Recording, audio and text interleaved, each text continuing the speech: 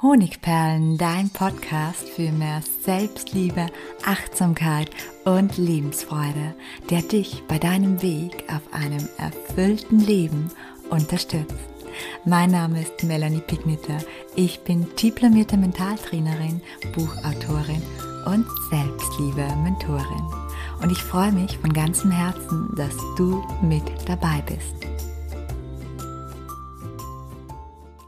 Glückshormone und wie du sie durch Selbstliebe aktivierst.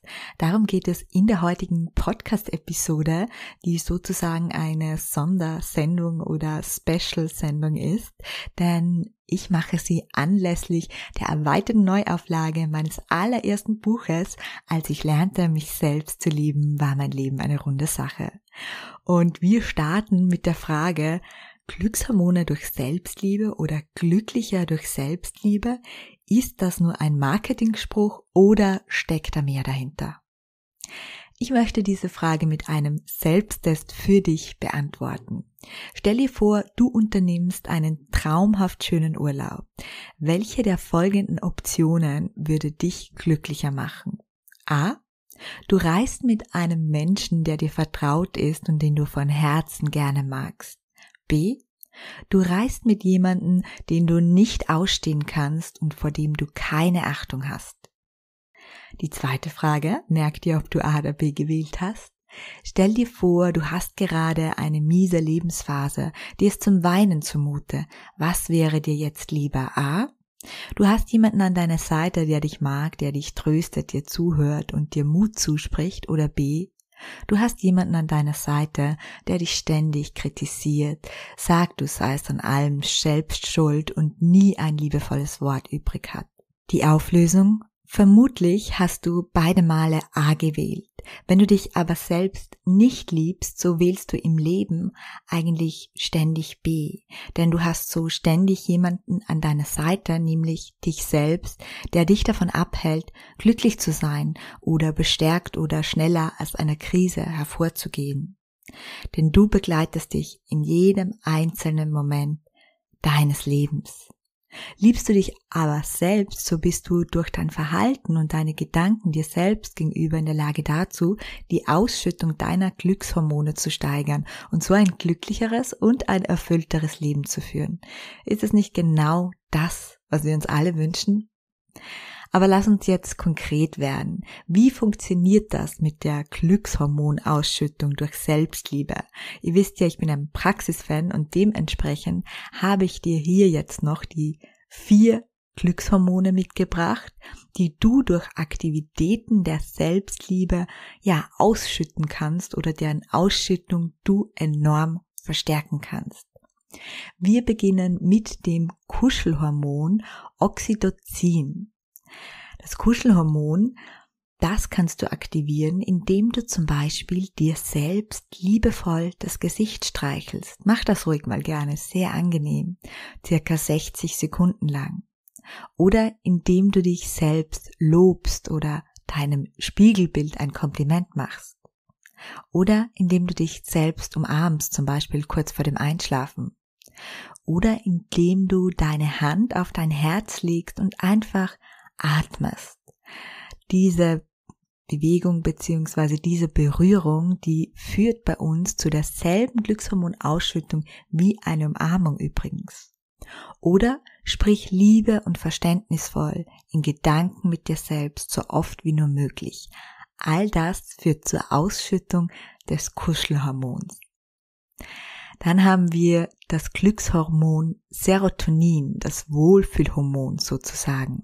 Und das kannst du aktivieren durch zum Beispiel eine Selbstliebe-Meditation oder durch Selbstliebe-Affirmationen, durch Me-Time, durch ausreichend Schlaf oder auch durch Auszeiten am besten in der Natur und mit Sonnenlicht.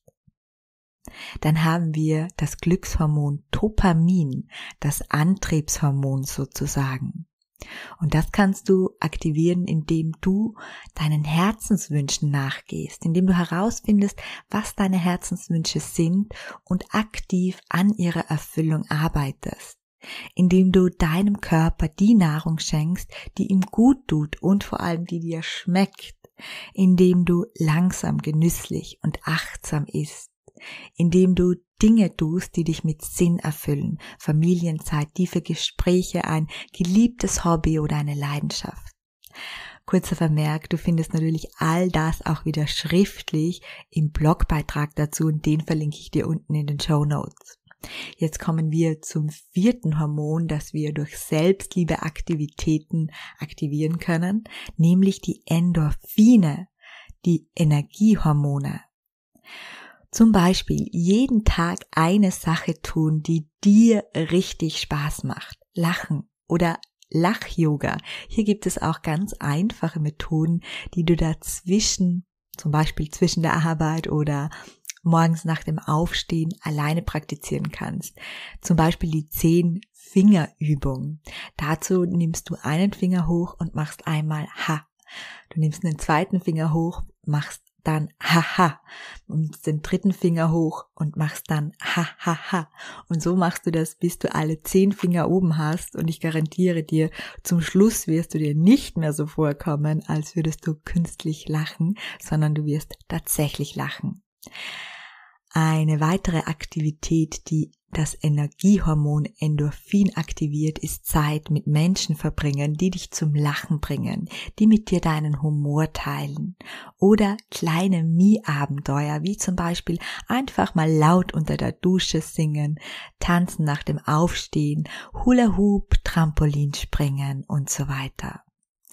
Ja, Selbstliebe macht also wirklich glücklich.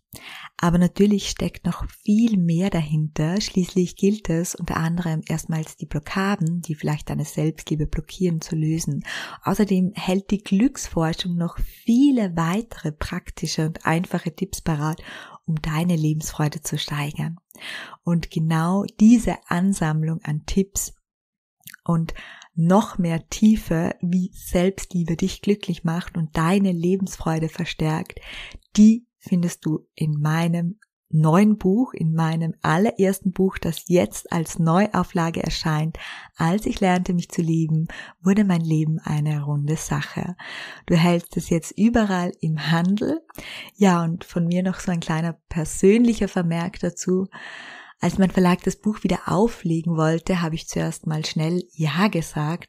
Und als ich das Buch dann las, da habe ich dann einfach gemerkt, wie viele Welten hier zwischen diesem Buch und meinem jetzigen ja, Persönlichkeitsentwicklung stand sind.